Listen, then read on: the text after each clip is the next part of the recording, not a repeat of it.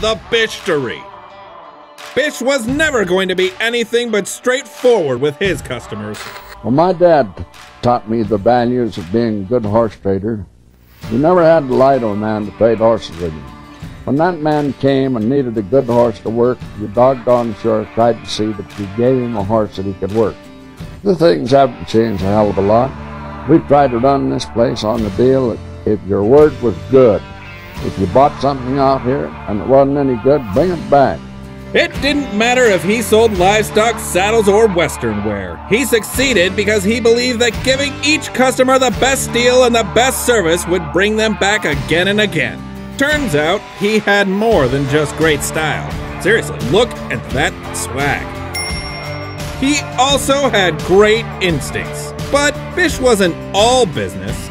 If anything, he was all about family. Maybe I'm the luckiest man in the world.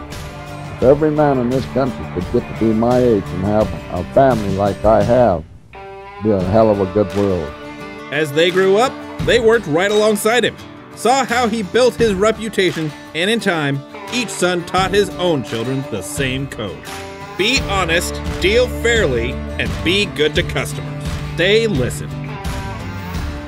Bish's RV, where memories begin.